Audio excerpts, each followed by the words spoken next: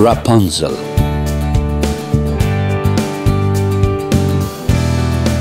Read and presented by George Pitropogiannakis.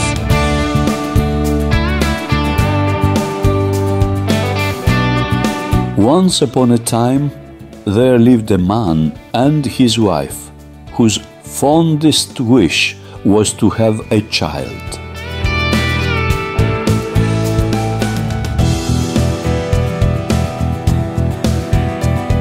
One day, Dear husband, I think that heaven is going to grant our wish. I am overjoyed. From now on, anything you desire is yours.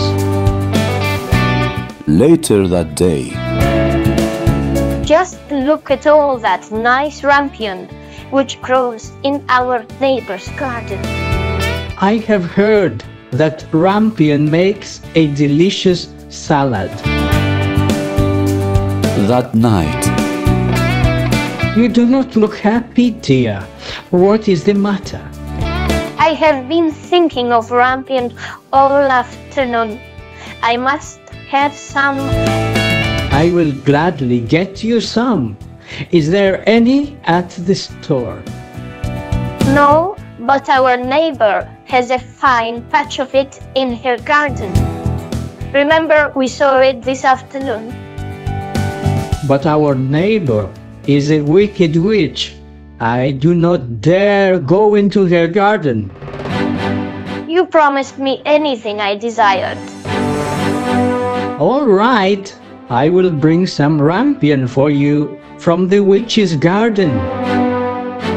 the husband leaped over the garden wall.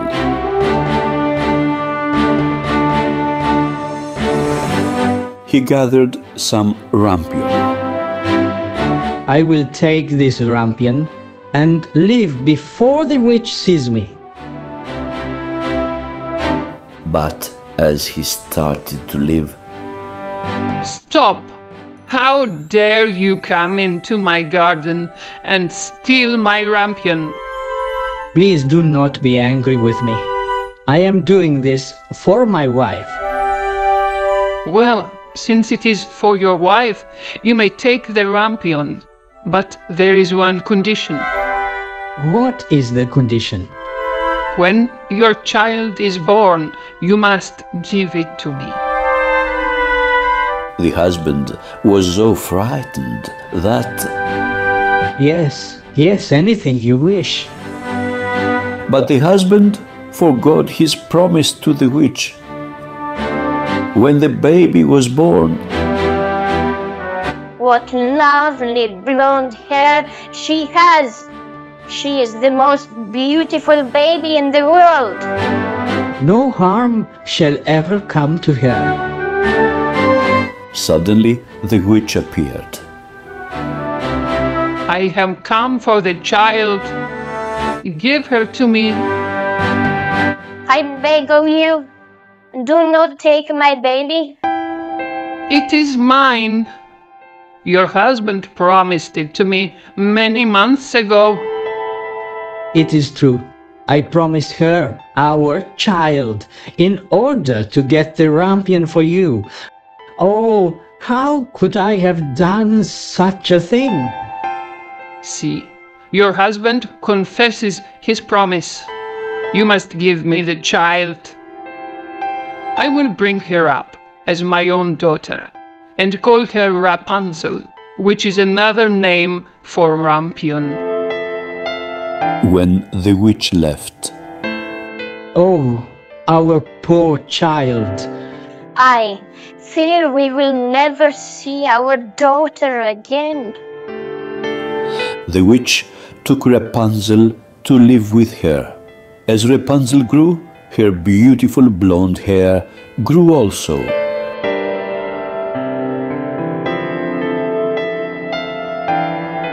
It grew and it grew.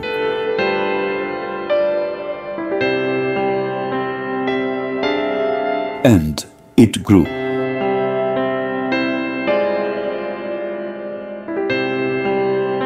One day, Today is your 12th birthday. It is time for me to shut you in a tower, away from the world. That afternoon, the witch took Rapunzel to a tower in the woods. Climb up the ladder to your new home. Then I will visit you every morning. Remember, there are no staircases or doors, so you can never leave. When I come to see you, let down your long hair, and I will climb up. Then the witch climbed down and destroyed the ladder.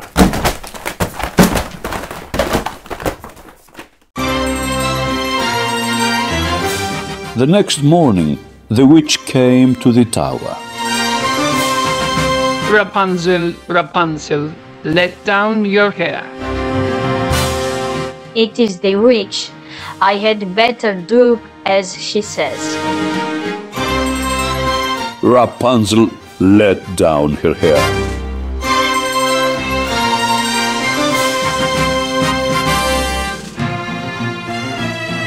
When it reached the ground, the witch began to climb.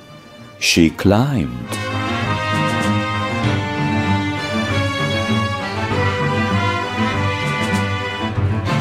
And she climbed.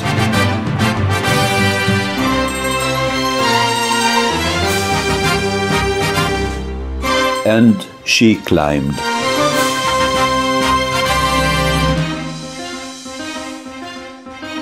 Until she finally reached the window.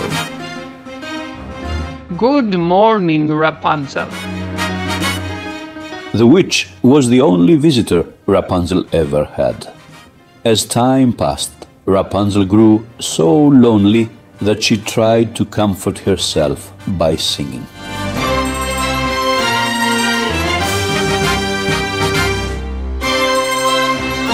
One day, a handsome prince came riding through the woods. What a lovely song. I wonder who is singing it. The voice seems to be coming from the top of that tower. But how did the singer get up there? The tower has no door or ladder anywhere. Day after day, the prince returned to hear the beautiful voice. I must find a way to get into the tower and see who sings such sad and lovely songs. Then, one day, Someone is coming. I will hide and see who it is. as the prince watched, Rapunzel, Rapunzel, let down your hair. A ladder of golden hair leads to the top of the tower. I will remain hidden until the old woman leaves. Then I too will climb up. and when the witch left, Rapunzel, Rapunzel, let down your hair. At last I shall see the owner of the lovely voice. he climbed up the ladder of long golden hair.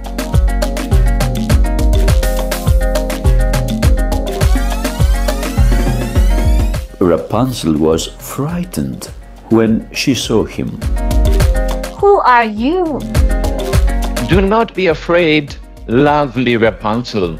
I have longed to see you since I first heard your sweet song. Why are you in this tower? You must be very lonely here. A cruel witch keeps me here, hidden from the world. She is the only person I ever see. I would like to come to visit you every day. May I, Rapunzel? Yes, The prince came to see Rapunzel every evening.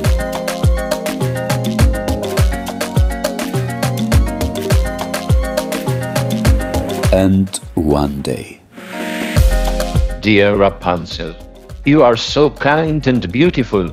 Will you be my wife? Oh yes. I will gladly marry you, but first we must find a way to get out of this tower. Every evening, I will bring a silken rope.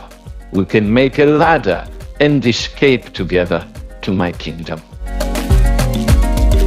The next evening, Here is the first piece of silk for our ladder. Good. I will work on it every moment I have. the prince brought a piece of silk every evening. The ladder will soon be long enough. And finally, I have been twisting the silk into a ladder all day. One more piece, and it will be long enough. Hurrah! Tomorrow we will both leave the tower forever. the next morning, the witch again climbed up to the tower.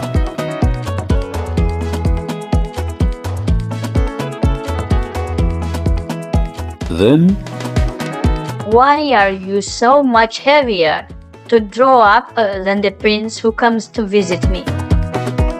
What prince? A prince comes to see me every evening. He wants to marry me and take me to live in his palace. Wicked girl. Your prince will never see you again. I will cut off your hair and take you far away. and in a moment.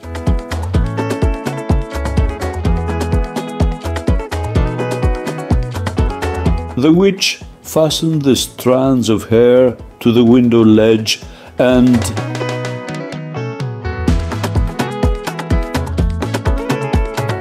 she took Rapunzel to a desert. You will have to live here for the rest of your life. Do not leave me here by myself.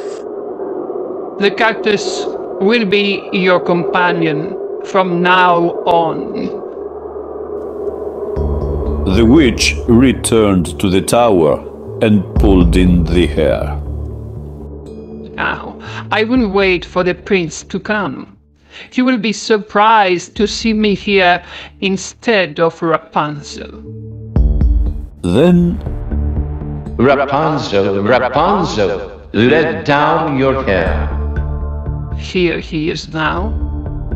I will let down the hair for him. when the prince reached the top of the tower. What are you doing here? Where is Rapunzel? You foolish prince! You will never see Rapunzel again. I will search the world until I find her and make her my bride. As the prince started to climb down, I must stop him.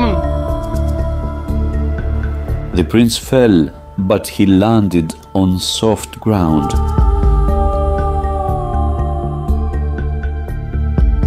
Then Oh dear, why did I cut off the hair?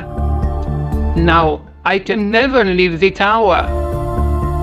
and the witch had to stay in the tower for the rest of her life.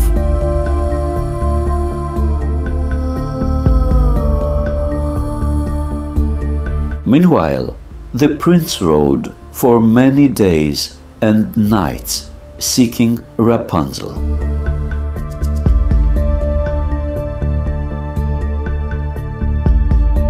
One evening, the prince came to the desert.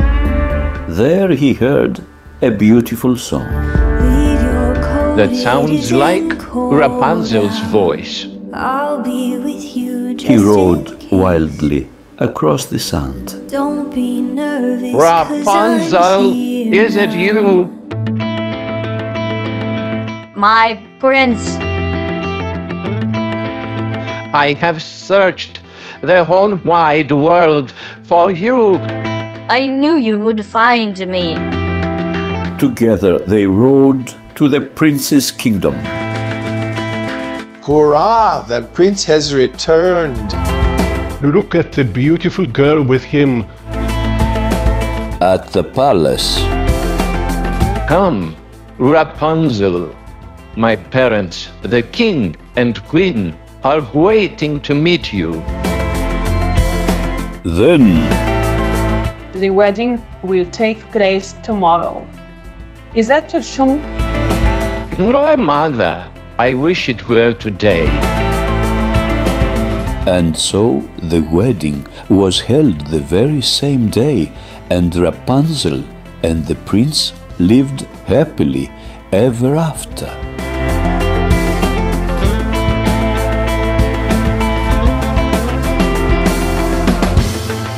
The end.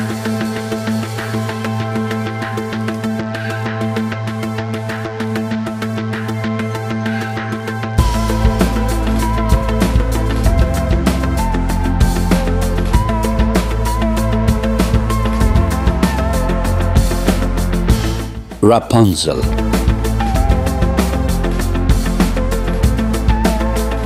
Read and presented by George Pitropogiannakis.